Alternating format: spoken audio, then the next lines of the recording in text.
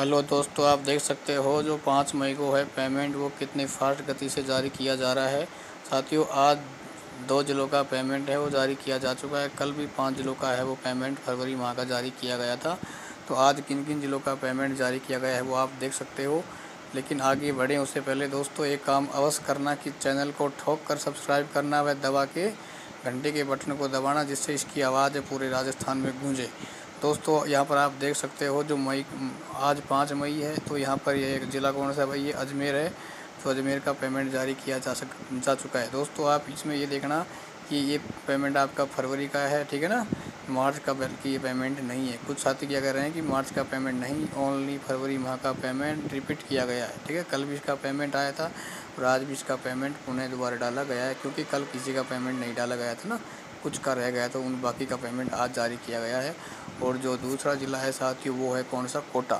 यानी कोटा ज़िले का भी फरवरी माह का जो पेमेंट है, वो डाल दिया गया है।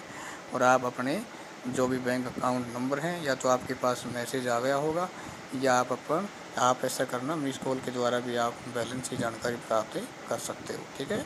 आपको बैंक में जाने की कोई आवश्यकता है नहीं। क्योंकि वैसे ही कोरोना काल चल रहा है तो आप अपने घर बैठे या तो फ़ोन पे के माध्यम से अपने बैलेंस की जानकारी ले सकते हो। और दोस्तों, पेमेंट प्रक्रिया शाम तक लगातार जारी रहेगी। और ये लगभग आप देखना कि एक वीक के अंदर अंदर फरवरी माह का पेमेंट लगभग पूरा हो जाएगा और उसके बाद आपका जो मार्च का पेमेंट वो भी डलना शुरू हो जाएगा।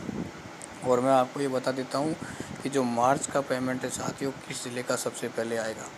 ठीक है, जिस प्रकार मैंने आपको फरवरी के पेमेंट के लिए बताया था कि सबसे पहले फरवरी का पेमेंट इस ज़िले का आएगा। तो ध्यान रखना, जिस ज़िले का जो मार्च का बिल है, सबसे पहले पास हुआ था अलवर ज़िला। ठीक है तो इस ज़िले का सबसे पहले मार्च माह का जो बिल है, वो सॉरी है पेमेंट बैंक अकाउंट में क्रेडिट किया जाएगा, क्योंकि इसका जो मार्च का बजट है, वो अलवर ज़िला का आ चुका है। कुछ आने वाले वीक के अंदर इसका पेमेंट क्रेडिट कर दिया जाएगा। ठीक है तो ज़्यादा आपको लंबे समय का इंतज़ार करने की आवश्यकता नहीं है। कुछ चंद दिन हैं जो आपके पास बचे हुए हैं। आपको जल्दी ही मार्च का पेमेंट देखने के लिए मिल जाएगा।